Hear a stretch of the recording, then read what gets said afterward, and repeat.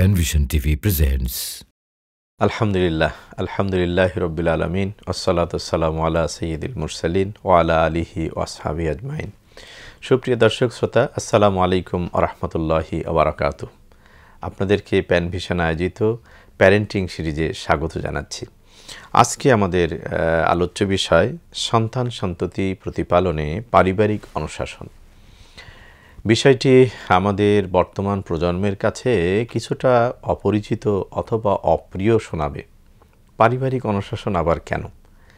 আসলে পারিবারিক অনুশাসন ছাড়া সন্তান সন্ততিকে মানুষ করে তোলা একেবারেই অসম্ভব। প্রিয় উপস্থিতি, আমরা আজকের সময়ে সন্তানদের কাছে পারিবারিক অনুশাসনকে প্রিয় করে তুলতে পারিনি, দিতে পারছি না। আবার সামাজিক অনুশাসন নামক যে একটি বাগডোর আমাদের ছিল, একটা চমৎকার আয়োজন ছিল সেটি আমরা হারিয়ে ফেলেছি। আমরা আজকে যারা চার দশক, পাঁচ দশক আগে বড় হয়েছে আমার এই প্রিয় দেশেই, সেখানে পারিবারিক অনুশাসন এবং সামাজিক অনুশাসনের মধ্যে আমরা মানবিকতাকে শিখেছি, আমরা নৈতিকতাকে শিখেছি, আমরা ভ্রাতৃত্ববোধ, সামাজিক বোধ, প্রীতিবোধ, এসব কিন্তু আমরা শিখেছি। আমরা জানি যে মুসলিম হিসাবে আমাদের ঐতিহ্য হচ্ছে, আমরা সেই সে জাতি সাম্যমৈত্রী এনেছি, আমরা বিশ্বে করেছি জ্ঞাতি। আমাদের এই প্রিয় দেশটাও আমরা কিন্তু আজ থেকে চার, পাঁচ দশক আগে আমাদের প্রাচুর্যের অভাব ছিল সম্পদের, কিন্তু প্রাণ প্রাচুর্যের অভাব কখনোই ছিল না, প্রিয় উপস্থিতি। কিন্তু আজকে দুর্ভাগ্য এবং দুঃস্বপ্নের মতো মনে হয়, খুবই ভালনারেবল মনে হয়, আমরা যারা কয়েক দশকের পুরনো মানুষ আছি, তাদের কাছে যে আমাদের সন্তানরা কোথায় যাচ্ছে, আমরা কাদেরকে রেখে যাচ্ছি এই প্রিয় দেশ, এই প্রিয় সমাজকে? কারণ তাদের মধ্যে পারস্পরিক ভালোবাসা, সম্প্রীতি, সহমর্মিতা, এটা যেন হারিয়ে যাচ্ছে। আজকের মানে প্রযুক্তির কল্যাণে আমাদের ফেসবুক ফ্রেন্ড হাজার হাজার হয়েছে, কিন্তু আত্মীয়তার সম্পর্ক শেষ হয়ে যাচ্ছে, সামাজিক বন্ধু হারিয়ে যাচ্ছে, বন্ধুত্বের মাঝে আমরা ফাঁকে ফাঁকে শুধু শুনি দুঃসংবাদ যে বন্ধুরা একটুর থেকে পানের থেকে চুন খসেছে, একজন আরেকজনকে হত্যা করছে, তাদেরকে নানাভাবে বিপদগ্রস্ত করছে। ঠিক এই অবস্থার কারণ কি? এই সব কিছুর মূলে অন্যতম একটি কারণ হচ্ছে পারিবারিক অনুশাসনের অনুপস্থিতি। প্রিয় উপস্থিতি, আমরা জানি যে মানুষকে আল্লাহ তালা বলছেন, খলিকাল ইনসান দয়ফা মানুষকে তিনি দুর্বল করে সৃষ্টি করেছেন। মানুষের জীবনে কিন্তু দুর্বলতম কাল দুটা আছে, দুটা শিশুকাল আসে। একটা হলো জন্মের পরে যে শিশুকালটি, এই শিশুকাল একটি, এ সময় মানব সন্তানেরা দুর্বল থাকে, হাঁসের বাচ্চা জন্মগ্রহণ করেই নিজেই সাঁতার কাটতে পারে, গরুর বাছুর নিজেই দাঁড়াতে শেখে এবং মাতৃ দুগ্ধ পান করার জন্য সে যেতে পারে, কিন্তু মানব সন্তান একটা সময় পর্যন্ত কিছুই পারে না। এটি হলো মানব সন্তানের প্রথম দুর্বলতম সময়কাল। ঠিক ওই সন্তানকে যদি আল্লাহ তালা হায়াত দিয়ে থাকেন তাহলে বার্ধক্য গিয়ে সে আবার আরেকটি মানে অসহায়ত্বের মধ্যে পড়ে যায়। বার্ধক্য গিয়ে কী হয়? বার্ধক্য গিয়ে সে নিজের কাজটি নিজে করতে পারে না, অন্যের প্রতি ধীরে ধীরে ধীরে ধীরে নির্ভরশীল হতে থাকে। অনেকাংশে কেউ আছে যারা আরও খুব বেশি নির্ভরশীল হয়ে যায়। কিন্তু প্রথম মানুষ, মানব সন্তানের প্রথম দুর্বলতম অবস্থা, শিশুকালে সে সবার ভালোবাসা এবং প্রীতি, আনন্দ যেভাবে মানে যেভাবে পেয়ে থাকে, পরের অংশে কিন্তু সেটি পাওয়াটা কঠিন হয়ে যায়। সেজন্য আল্লাহ তালা কোরআন কারিম আমাদেরকে বলছেন যে যে তোমরা যখন বাবা মাকে পাবে, ফালা তাকুল্লাহমা উফিন ওলা তানহার হুমা যে তাদেরকে একজনকে অথবা উভয়কেই যদি তোমরা বার্ধক্যে পাও, তাহলে তাদের সাথে উফ শব্দটাও করবে না। তাদেরকে কীভাবে সম্মান করতে হবে, তাদের উপরে দায়িত্ব পালন করতে হবে, এটা বলে দেওয়া হয়েছে। প্রিয় উপস্থিতি, আমি যেটা বলতে চাচ্ছি সেটা হলো সন্তান প্রতিপালনে পারিবারিক অনুশাসন। পারিবারিক অনুশাসন কি শেখায়? পারিবারিক পারিবারিক অনুশাসন সন্তান সন্ততিকে মানবিক হতে শেখায়, দায়িত্ব, কর্তব্যের বোধ শিক্ষা দেয় এবং জীবনকে একটি সুনির্দিষ্ট লক্ষ্য পানে যাবার জন্য সরাসরি সহযোগিতা করে। সেই জন্য আমাদের পারিবারিক অনুশাসনটা খুবই গুরুত্বপূর্ণ। পারিবারিক অনুশাসন আমাদেরকে বিশ্বাসকে, আমাদের নিজ নিজ বিশ্বাসকে, জীবনবোধকে জীবনের মধ্যে প্রতিস্থাপিত করে দেয়। পাশাপাশি এই বিশ্বাসের আলোকে আমাদের জানা এবং জ্ঞানকে অভ্যাসে এনে দেয়। আসলে অনেক মানুষ অনেকে জানে কিন্তু মানে পালন করে না। কারণ কি? জানাটাকে, কাজে আনাটা একটা গুরুত্বপূর্ণ স্টেপ আর কাজকে অভ্যাসে আনাটা হলো আরও গুরুত্বপূর্ণ আরেকটা পর্যায়। সুতরাং পরিবার হচ্ছে, পারিবারিক অনুশাসন হচ্ছে এমন জিনিস, যেমন ধরুন আমি বলি যে শ্যাম পালন করা, এটি ফরজ। পরিবার থেকে সে শিখল শিশুকালে যে রমাদান মাসে শ্যাম পালন করাটা হচ্ছে ফরজ কাজ। সে শিখল। পরিবারে বাবা মার সাথে সে ছোট মানুষ, সাহারির সময় উঠছে, খেলো, দিনের বেলায় দুই তিনবার ক্ষুধা লেগেছে, খেলো, ইফতারের সময় একসাথে ইফতার করল। সে এভাবে সে সারাদিন বড়দের মতো রোজা রাখতে পারেনি ঠিকই, কিন্তু সে বড়দের সাথে সাহারি এবং ইফতার করেছে। এইটি তার স্মৃতিপটে। যেমন এঁকে থাকে, এই স্মৃতিপট থেকে তাকে ধাবিত করে, তাড়িত করে বড় হলে তাকে শ্যাম পালনে, অনুরাগী করতে শ্যাম পালনে অভ্যস্ত হতে। তারপরে সে যখন একটু বড় হলো অ্যাডাল্ট হলো, তখন সে রমাদান মাসে নিচ থেকে শ্যাম পালন করল।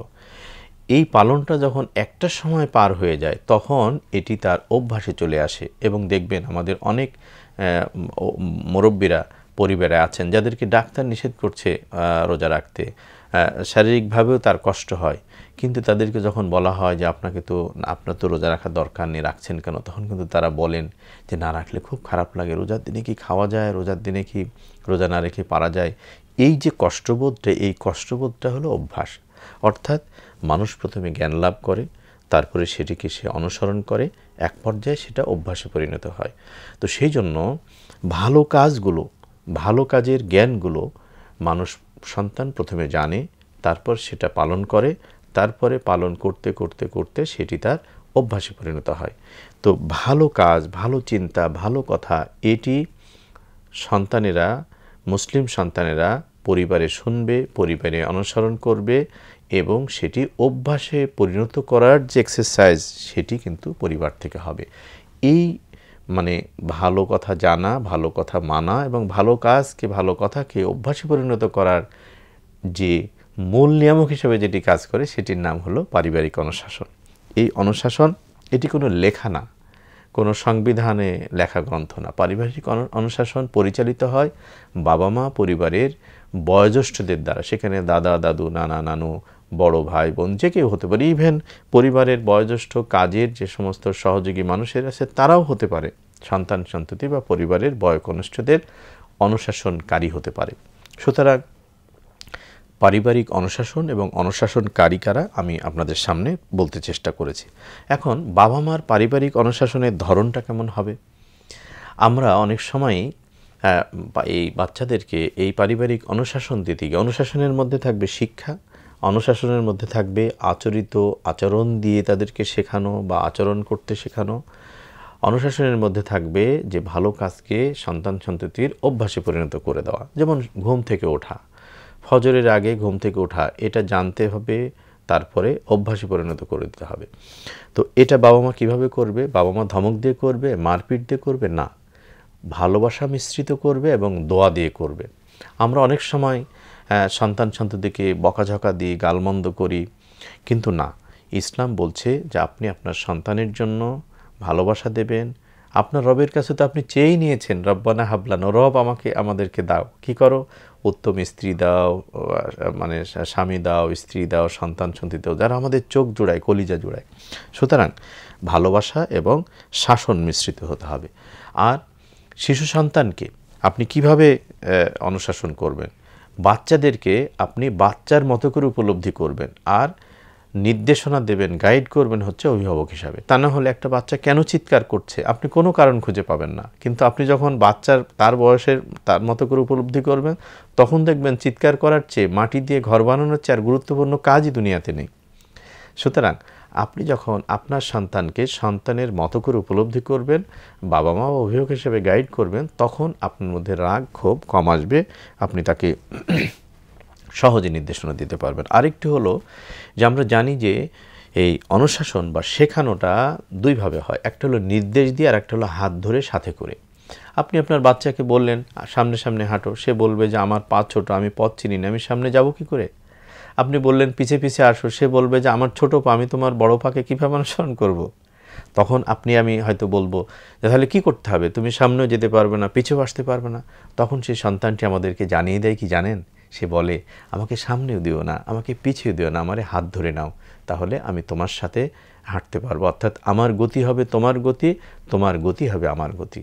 প্রিয় উপস্থিতি তাহলে পারিবারিক অনুশাসন, ভালোবাসা মিশ্রিত হবে, শিশুর উপলব্ধি নিয়ে বুঝবেন আর অভিভাবকের উপলব্ধি দিয়ে আপনি তাকে শাসন করবেন, তাকে সাথে করে হাত ধরে কাজ করাতে চেষ্টা করবেন। মনোদৈহিক সত্তা হিসাবে শিশুর ভালো মন্দের ভিতরে এবং বাইরের জন্য আমরা গড়ে তুলতে চেষ্টা করব। ছোটোর থেকেই আপনার শিশুকে হালাল প্রিয় করেন, পরিশ্রম প্রিয় করেন, ভালোবাসা প্রিয় করেন, দরদি করে তোলেন। নবীজ সাল্লাহ আসলামকে আল্লাহ তালা বলছেন, লাং ফাদ্দু মিন হাউ, হাউলিক। অনবী আপনি যদি মানে কঠোর স্বভাবের হতেন, আপনার পাশে কাউকে পেতেন না। আজকে আমরা আমাদের সন্তানদেরকে যদি মানে দরদি করতে না পারি, ভালোবাসা যদি তাদের চরিত্রে দিয়ে যেতে না পারি, তাহলে তারা ভাই, বোন, আত্মীয় স্বজন সমাজের মধ্যে বাস করে তারা চরম একাকী জীবনযাপন করবে। আপনি কার কাছে রেখে যাবেন আপনার সন্তানকে? সুতরাং, প্রিয় উপস্থিতি, এটি মাথায় রাখতে হবে পারিবারিক অনুশাসনের অন্যতম দিক থাকবে এটি। আরেকটি দিক থাকবে, পরিবারে আনুগত্য। আপনি স্বামী হিসাবে স্ত্রীর আনুগত্য করবেন, স্ত্রী স্বামী স্বামী, স্বামীর আনুগত্য করবেন, পরস্পর পরস্পরের আলাপ আলোচনা করে সংসার পরিচালনা করবেন। পাশাপাশি সন্তান যেন আপনার নির্দেশ অনুসরণ করে আর আপনি যেন সন্তানের প্রতি দয়াবান হন। অর্থাৎ একটা পরিবারে আদেশ থাকবে, একটা পরিবারে অনুসরণ থাকবে ভালোবাসা থাকবে, শৃঙ্খলা থাকবে, দায়িত্ববোধ থাকবে, কর্তব্যবোধ থাকবে। সন্তানকে ছোট থেকেই তাদেরকে বড় করার জন্য কীভাবে ভালো করা যায়, তাদের সুখ স্বাচ্ছন্দ্যের বিষয়টা যেমন নিশ্চিত করবেন, তেমনি ইসলামী যে মূল্যবোধ, নৈতিকতা, সেগুলোও এখান থেকে শিক্ষা দিতে হবে।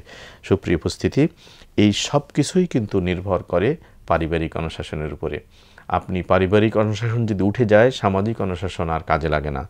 দেশের ভালো আইন সেখানে ব্যর্থ হয়ে যায়। সেজন্য আসুন সুপ্রিয় দর্শক শ্রোতা, আমরা আমাদের নিজ নিজ বিশ্বাসের আলোকে, জীবন বিধানের আলোকে আমাদের পরিবারকে সাজাই এবং পারিবারিক অনুশাসন নামক অতি কার্যকারী, অতি গুরুত্বপূর্ণ একটি যে ব্যবস্থা আমাদের সমাজে ছিল, সেটিকে আবার আমরা পুনঃস্থাপন করি এবং সে আলোকে আমরা আমাদের কলিজার টুকরা সন্তান সন্ততিকে আদর দিয়ে, ভালোবাসা দিয়ে, শাসন দিয়ে, সুশিক্ষা দিয়ে, জীবন আদর্শের আলোকে নৈতিক মূল্যবোধ সম্পন্ন তৈরি করে আমার এই প্রিয় দেশ এবং সমাজের জন্য উপহার হিসাবে দিয়ে যায়, মানবতার জন্য সম্পদ হিসাবে দিয়ে যায়, যারা আপনার দুনিয়া এবং আখেরাতের কল্যাণের কারণ হবে, সম্মানের কারণ হবে, মর্যাদার কারণ হবে, আল্লাহ তালা যেন আমাদেরকে সেই তৌফিক দেন।